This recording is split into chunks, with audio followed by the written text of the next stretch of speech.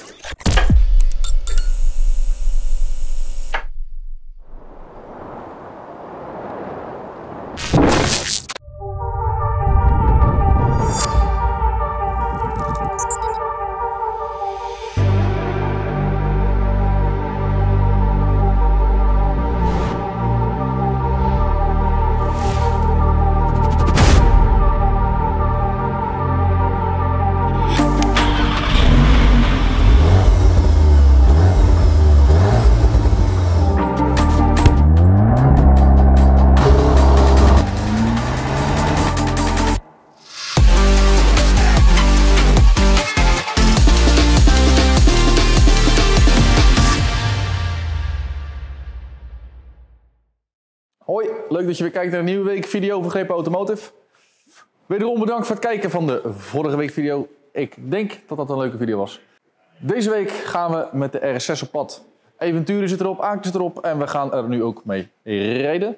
M4 steenschafolie gaan we erop plakken. Porsche GT3, nieuw model, hele mooie auto. En wat nog meer, hele mooie dingen. Blijf kijken.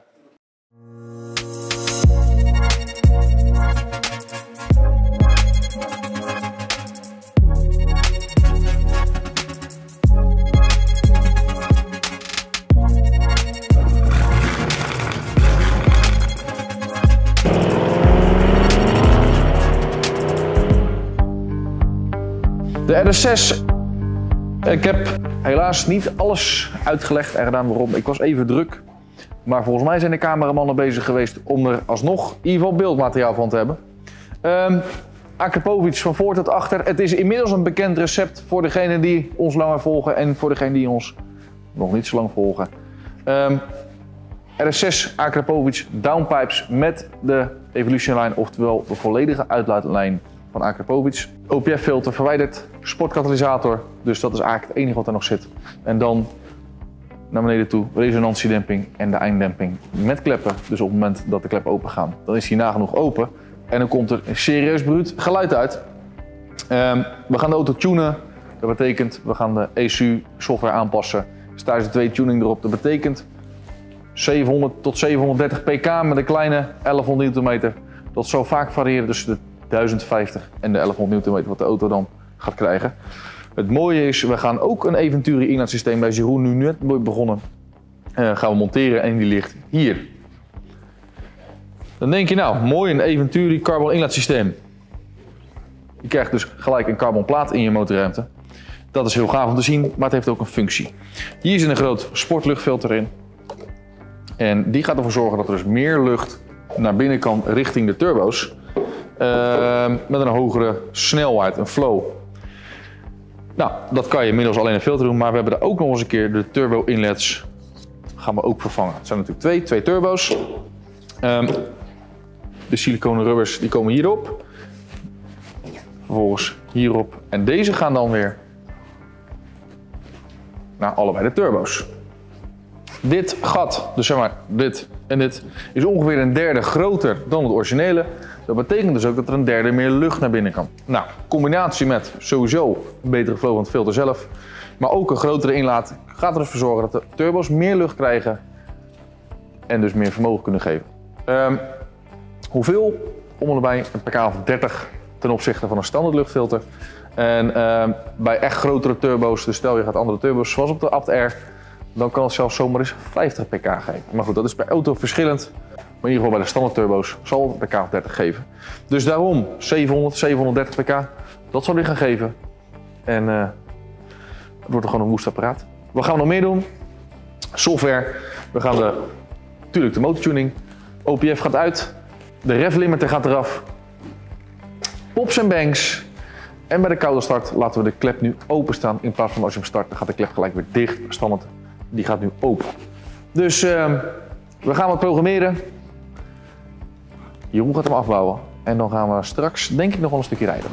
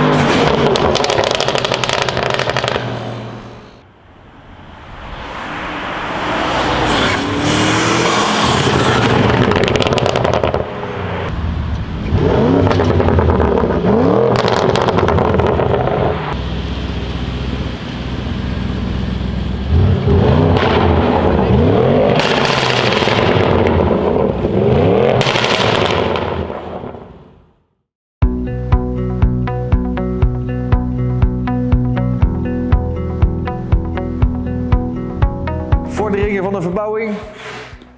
De muur is de eerste laag geverfd, dat we gaat nu drogen. En dan gaan we de tweede laag doen. Het plafond wordt gedaan, die hoek wordt gedaan. En dan gaan we alles weer opbouwen. Vloer gaan we doen enzovoort. Maar in ieder geval het muurgedeelte, dat ziet er nu in ieder geval wat rustiger uit met een kleurtje. Dus uh, er wordt hard gewerkt en het wordt denk ik heel mooi.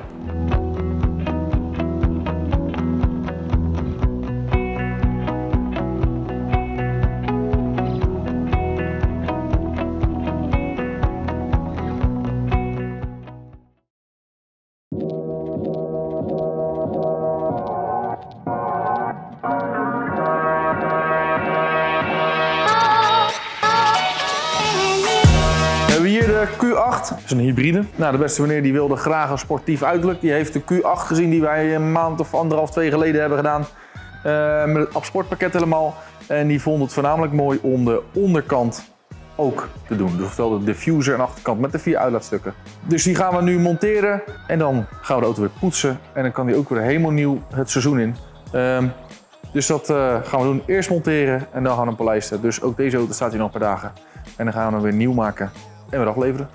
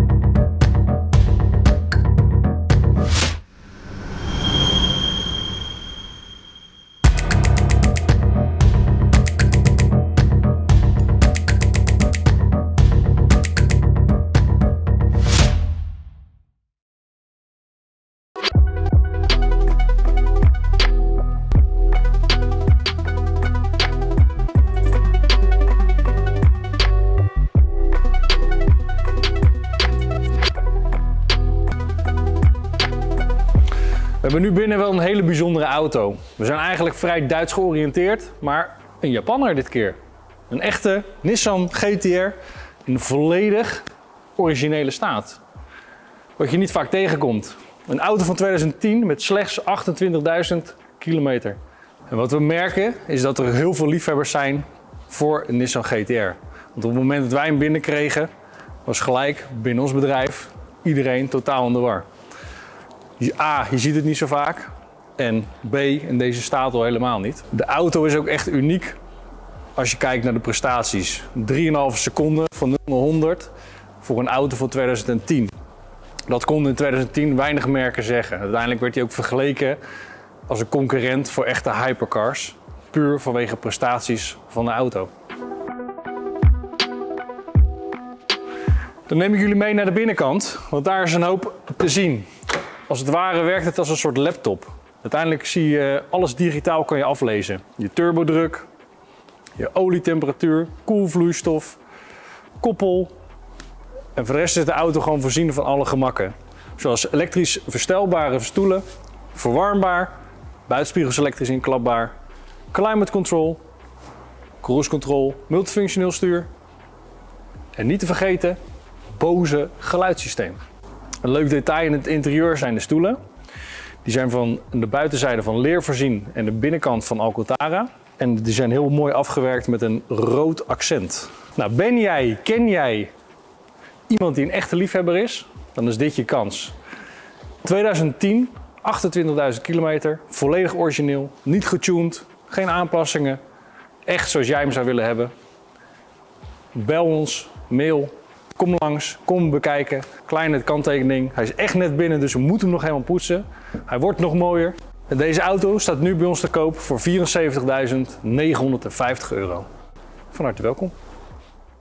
Welkom in de werkplaats. Hier hebben we de AMG GT43, dus geen 63, maar een 43. Ehm, net binnen, wordt nog schoongemaakt, klaargemaakt en dan komt hij binnenkort te koop bij ons. De Range Rover Sport TDV6 2015 aan mijn hoofd, 123.000 kilometer. Ook deze auto wordt nu klaargemaakt om in de showroom te gaan. En eh, hij staat op de koop overigens op internet, maar hij was nog niet helemaal gepoetst. Dat gaat nu gebeuren. En dan hebben we hier nog de Q8, die is bijna klaar. Apt, diffuser zit erop met sportuitlaten en eh, poetsen. En dadelijk gaat die auto weer nieuw de weg op. We hebben Anouk, haar auto, onze steun en toeverlaat. Secretaresse, administratief, alles doet ze. En eh, nou, die moet ook onderhoud hebben. Ik zie dat er al twee verschillende soorten banden op zitten. Dus uh, we gaan hem even naar onze kwaliteit brengen. Want dit gaat niet opschieten, dat zie ik vanaf hier al. Maar goed, dat komt goed. RF3. Die hebben jullie al gezien. Maar er is dan een scheur in de bumper. En dan kan je twee dingen doen. Je repareert hem. Of je doet er een nieuwe bumper op. En dat is het beste wat er is. Dus we hebben een nieuwe bumper besteld bij Audi. Die is klaar. Die ligt gespoten klaar. En die gaat Jeroen nu monteren. Dus de oude bumper, die is er al af zie ik. Hier ligt de nieuwe bumper. Alles overzetten. Terugmonteren. En dan uh, is die 100% tip-top. Zoals het hoort. GT3, nieuwe Porsche GT3. Extreem gave auto. En deze auto is qua kleurenstelling afgestemd op de GT3 RS die wij anderhalf jaar geleden, denk ik, inmiddels hadden met de Akrapovic uitlaat. Um, hetzelfde eigenaar overigens trouwens. Dus uh, gulfblauw, oranje accenten. We gaan de rolkooi nog oranje maken, dus die gaan we eruit halen. Die wordt oranje. We gaan de voorkant volledig en het dak in de PPF zetten. En misschien nog een oranje velglijntje. Maar daar kijken we nog even naar, want daar werd nog even over nagedacht. Maar uh, wat een dikke auto hè. Nieuwe GT3. Nog niet de RS, die gaat nog komen. Uh, exacte specificaties zijn ook niet bekend. Maar ik denk dat dat weer een knaller van de wagen wordt. In ieder geval de GT3, die is al heel goed gelukt.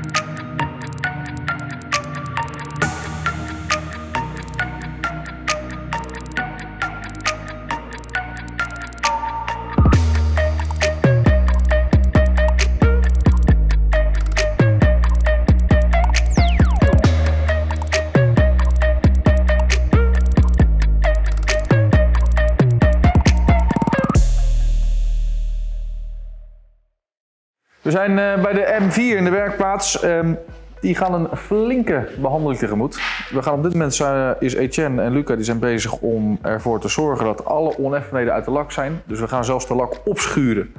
Nou, hier een gedeelte gedaan. Hier een gedeelte weer teruggepolijst. En daar zie je wel echt bizarre resultaten in. Want ja, auto's vier jaar oud. Goed gebruikt, zullen we maar zeggen.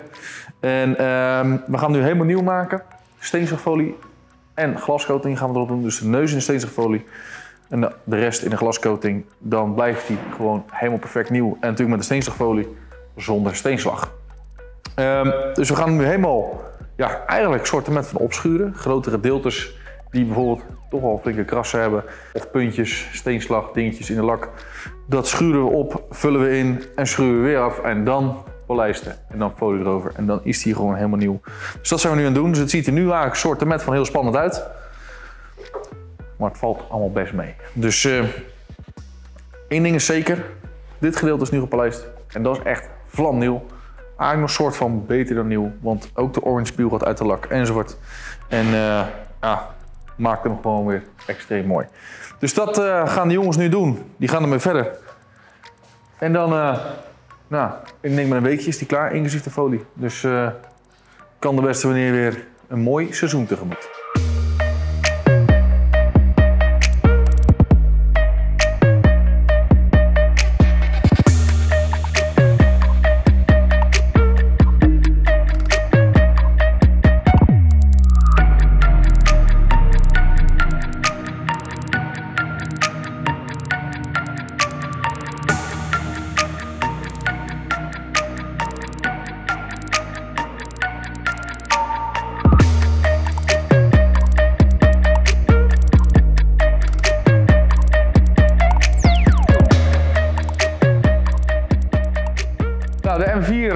Daar zijn de eerste delen van geplakt. Of eh, voorscherm, spiegels, aanstel.